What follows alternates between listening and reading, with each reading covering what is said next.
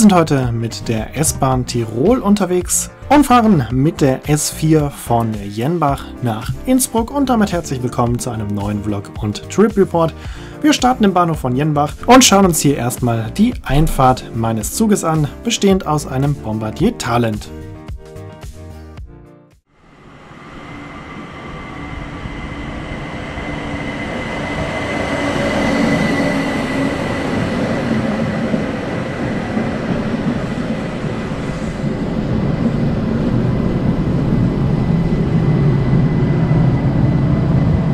Die Besonderheit hier beim Talent im Gegensatz zu den Fahrzeugen, die wir aus Deutschland kennen, ist, dass er hier elektrisch verkehrt, also den Strom aus der Oberleitung bezieht und nicht wie bei uns als Dieseltriebzug unterwegs ist. Wir sind hier in einem modernisierten Talent unterwegs, man erkennt es an den modernen Sitzen und auch außen im CityJet-Design der ÖBB gestaltet. Hier im Tirol können die Züge der S-Bahn genauso gut auf den Regionalbahn- und Regionalexpress sowie CityJet Express-Linien zum Einsatz kommen. Da gibt es also keinen Unterschied zwischen den Fahrzeugen. Demzufolge wird hier auch wirklich der absolute Großteil der Verbindung im Inntal rund um Innsbruck mit den Bombardier Talent erbracht.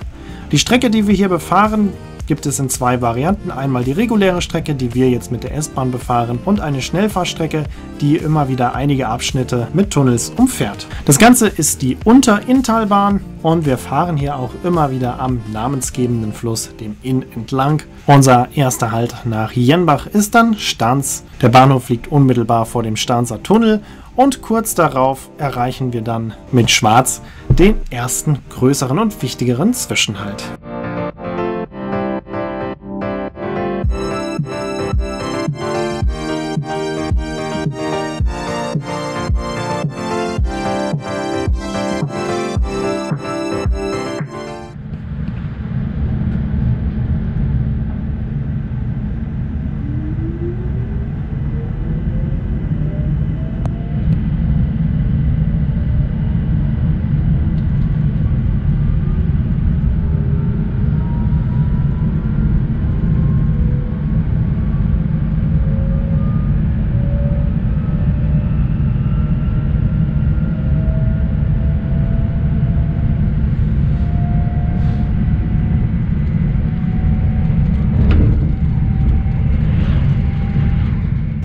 Weitere Zwischenstationen auf unserer Route sind heute Pil-Fomperbach, Terfens-Wehr, Fritzens-Wattens, Vorders-Baumkirchen, Hall in Tirol, Hall-Tower, Rum und Innsbruck-Messe. Und ja, der Bahnhof heißt wirklich Rum, wieder Rum, wieder Alkohol und wird auch genauso geschrieben. Die Strecke ist landschaftlich natürlich sehr interessant und sehr reizvoll, da wir hier eben durch die Alpen fahren.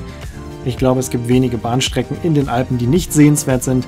Und hier natürlich diese Strecke keine Ausnahme, obwohl es hier weniger große Kunstbauten, mal abgesehen von Tunnels gibt, keine größeren Brücken. Es wird auch kein größerer Höhenunterschied überwunden, da wir hier eigentlich immer parallel zum Inn fahren. Aber allein der Ausblick auf die Berge, gerade bei so einem tollen Wetter wie heute, macht diese Strecke wirklich sehr sehenswert. Man kann sie natürlich mit der S-Bahn befahren, dann sieht man auch alles oder auch mit den Regionalzügen. Wenn man im Fernverkehr unterwegs ist, dann muss man eben hier gerade zwischen Innsbruck und Kufstein damit rechnen, dass einige Teile der Strecke mit Tunnels umfahren werden. Also wer die ganze Strecke sehen will, sollte dann doch die Regionalzüge verwenden.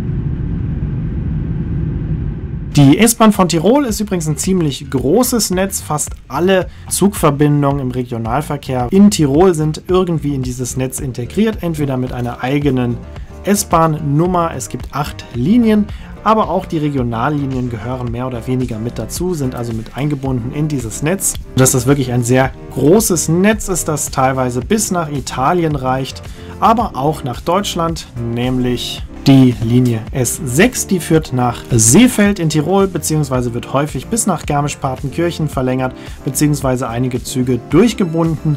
Von dort weiter als Regionalbahn dann bis nach München und auch die Außerfernbahn von Garmisch nach Fronten zählt zur S-Bahn Tirol, obwohl sie von der Deutschen Bahn betrieben wird. Also wirklich ein interessantes und großes Netz. Hier haben wir derweil dann schon Innsbruck Hauptbahnhof erreicht. Hier steige ich dann aus und um und hier wird es dann im nächsten Video auch weitergehen. Übrigens gibt es noch eine Besonderheit bei diesen Fahrzeugen hier, die werde ich euch aber in einem späteren Video zeigen.